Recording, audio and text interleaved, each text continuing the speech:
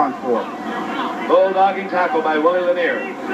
Second down and four. The ball at the 47 of Kansas City. Play action fake. Staubach. What's Golden Richards? He's wide open. Golden Richards with his second touchdown of the night. A 47-yard strike from Roger Staubach. Golden Richards, who earlier stunned the stadium with a one-handed touchdown catch.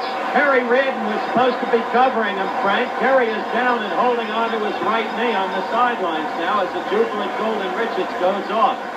Howard, we talked about their trying to establish that running game, which they started to do. And of course, when that happens, you tighten up that secondary enough, and you're going to get free once in a while out there, and that's exactly what happened. Gary Golden Richards almost had another touchdown if you're with us right before the first half, but Roger Staubach running out of time just threw it as far as he could and was right in the hands of Richards. He did not hold on. This one he did, however, and we are close to another tie ball game, and that's how it's been all night. Kerry Reardon now being helped off. He Looks like the right knee, Frank. He's holding his right leg as Toni Fritsch ties it up at 24. A wild, zany football game from Dallas, Texas, where we'll return in just a moment.